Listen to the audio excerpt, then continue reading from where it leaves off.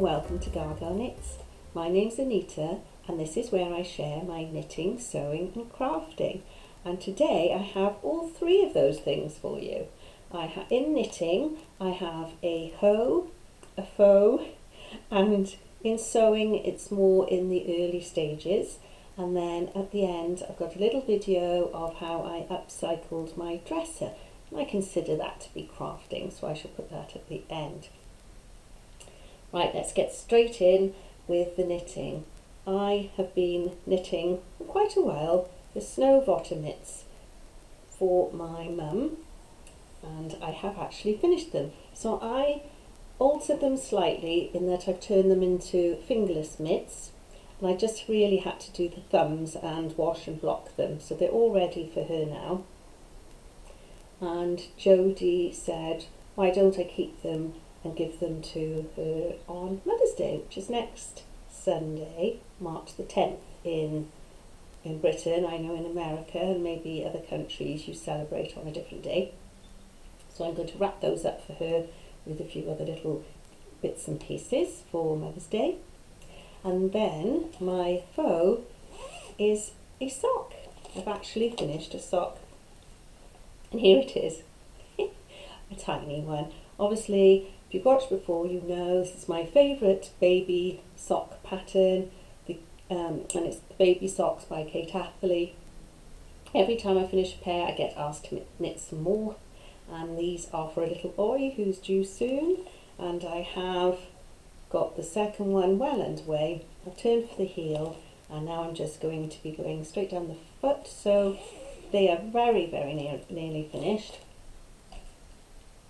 And in sewing, I just suddenly had the urge to make something, to sew something. I haven't sewn anything for ages and I haven't felt like it and it doesn't bother me if I have or haven't. I just craft whatever I fancy making. I fancy knitting, crochet, painting, but I have had the urge to sew again and I thought I'd ease myself in gently with something quite simple and Jodie and Matthew bought me the Tilly and the Buttons Make It Simple book for Christmas and I haven't made anything from there yet.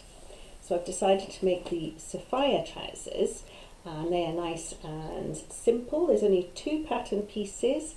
It's an elasticated waist.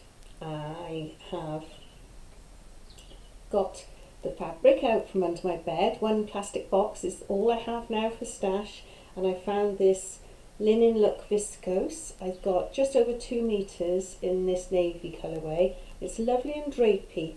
It's quite, it's quite thin, but that's okay. I will just, these will be a sort of practice to ease myself back into sewing and I can wear them around the house so it doesn't really matter if they're quite see-through. I just put a t-shirt or something over them. So I'm going to start that. I have traced out and cut out the pattern and I will hopefully some point later on today or tomorrow, because we're on Saturday the 2nd of March today. So I've got another one day of the weekend. So I'll hopefully cut the fabric out then. I've got Jodie and Matthew and the boys coming over for Sunday lunch tomorrow, so I probably won't have that much time to myself. But if I do, I'll cut them out and hopefully sew them next weekend. I forgot to say at the beginning that I am wearing the Cranberry Crush cardigan by Louisa Harding and it is a pattern on Ravelry although I knit it from a pattern in a magazine and it was the most complicated pattern I've ever knitted with all the lace work because of the way the charts were in the magazine. I'm hoping if you did get the pattern on Ravelry it would be a lot easier but I found it very difficult uh, but I am glad that I finished it and feel proud that I have and it's lovely and warm. I just thought I'd mention that because I know one of my lovely viewers, Jenny, the other week, she liked the jumper I was wearing, the J sweater, and I didn't say what it was, so she had to do a bit of sleuthing. And then when she looked on my Ravelry page, I had the J sweater on there, but I didn't have any pictures of it, so I'm really sorry, Jenny. I will try and do better, I promise.